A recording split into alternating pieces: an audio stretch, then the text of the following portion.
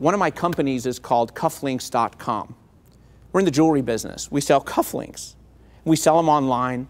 It's a big business for what it is, makes, makes good money. And everything I talk about and everything I do in my business, in my businesses, is about making money and learning and understanding and competing. I'm not a motivational speaker. I'm not here to excite you about all this. My excitement from within is business. My dad was a professor, my sister was a professor. I'm kind of a professor, but I teach how to make money and how I've done it and how I've been fairly successful at it. Um, and so uh, the ADD kicks in, and so I back up to go forward. I own cufflinks.com.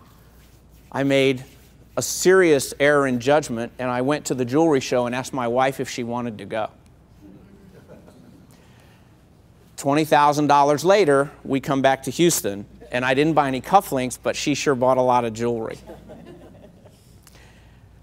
One of the things I do to keep my mind going is to invent and always come up with something new and exciting. And I've come up with something that got a lot of press in the last two weeks. Uh, and I would consider it in this audience to be a speaker's best friend. Uh, there's one other gentleman, I think Mike, is wearing cufflinks. I wear cufflinks whenever I can. And we came up with a USB cufflink. Now, this, cuff, this product right here will hold every speech you've ever made, and you have one on each wrist. All right? I'm going to pass it around. It's very cool. I'm very proud of it. We just came out with it last week, this last week, and uh, it's a very, it's the most successful item our company's ever launched. Now, you would ask cufflinks, why would anybody be in the cufflink business? Um, I'm one of the early pioneers on the internet. Uh, I'm lucky enough to have gotten into the internet in 1994. And I figured out very quickly that there were two things that the internet meant in business. And one is niches are the best place to be. Own a niche. So cufflinks is a niche. Bow ties would be a niche, right? Shoes would be a niche. Uh, keywords, what we both all know as keywords you'd laugh, but cufflinks.com, this little nothing, it's five people, does four and a half million dollars a year with 20% margins. And they're cufflinks, cufflinks. So that got me kind of thinking, okay, let's, let's broaden the concept. Um, company in town here I've invested in, I'm on the board, and you have to understand the, the area I play in, in in the business world is I go to conventions for entrepreneurs uh, that want to learn how to be in business, that want to learn how to make money, that want to learn how to use the internet. And I'm a very, very big believer in the internet space because it's going to affect everyone in a very big way, in a profound way. And so that's where I spend most of my time is teaching people about the internet, how to make money on the internet, how to do business on the internet. The second area I played in early on was domain names. Anyone know domain names? Um, I bought, my sister taught me about the internet as a professor at the University of Texas. Uh, I sat with her and tried to figure out where do you get those names? And she's like, well, What do you mean? I said, Those names, those domain names, those things you're telling me about, how do you get them? And so we started looking up what was available, and we looked up Hertz and Avis. One was gone and one was still available. So I'm thinking, I must be wrong. She says, Well, what are you thinking? I said, Well, why don't we go buy up all those names? That'd be smart. Well, the idea was right, but flawed. You don't want to own names of companies because that's a trademark violation, but you do want to own generic names. And so, as, as Jim mentioned, I have a lot of those generic names in my portfolio as an investment. But a lot of them we've built out. So we have a company in town that you would never believe that makes money, but it's called blinds.com. We sell blinds, mini blinds, custom mini blinds that you measure, that you fill in the form, that we, we, manu- we have third party manufacture, and then we drop ship it to you. Now, anybody have any idea how much blinds? Let's, let's back up. Any idea how much? You do all know what pay per click means? where you advertise on Google or Yahoo to get business, that company spends, let's back up because I want a better vignette.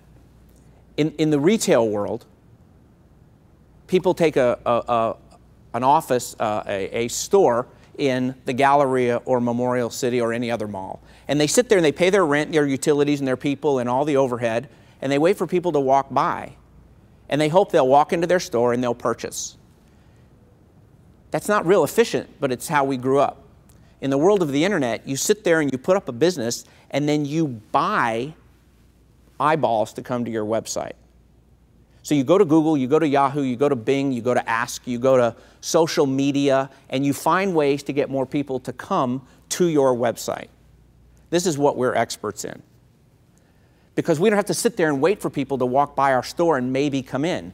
100% of the people that come to our store are interested in blinds or cufflinks or summer camps or tickets or whatever the, the website may be. I get approached. I do a little venture capital investing. I get approached to invest in a company called No Brainer Blinds. A friend of mine says, Go meet with this guy. He's smart. So I meet with the guy, and he's very smart. And I say, I will, do it, but we have to buy the name blinds.com before I'll do that, because I'm a very big believer that mind share is what this world is. In the old world, we invested in real estate, and what were the three words everybody knew about real estate? It was all location, location, location. In the world of the internet, it's mind share, mind share, mind share. They must remember who you are. They must know who you are the minute they think of it. To prove that point, in the old world, when you want to buy flowers and you have to dial a phone number, what number pops in your head? It's a toll free number to buy flowers 1 800 Flowers. So I use that mindset to go out and buy domains and then build companies around that initial asset, that base, to build from within. So everyone approaches businesses differently. My point was if I own that domain name and I have that base and I have eyeballs and mind share of people coming to my websites, I have a better chance of that working to get more business than my competitor. So there might be 75 companies or 100 plus named Blinds something. We own Blinds.com because it gave us a major competitive advantage in a world where so much commerce is being done online and we can compete against our, our friends. Blinds.com. I want to go through five different types of companies because they all signify different ways to play the game. At the bottom, you have a domain name. It sits there, it doesn't do anything. You can do what's called parking. You park that name by pointing it to Google, and Google will pay you for that traffic. So I have mutual funds. Mutual funds makes $3,000 a month. We don't do anything with it. We point it to Google, Google sends us a check. Because it has so many eyeballs that go to that domain name, they come back with revenue. So I get a 50 50 split with Google on that money. Uh, above that, you have a website that is virtual, uh, e tickets. We own e tickets, it's a ticket site. And all we do is point it to a ticket site and they send us a check. The, the revenue comes from the eyeballs, that the tickets that they sell. Above that, and I, I do this above that because I see it as a pyramid, above that you have uh, summer camps.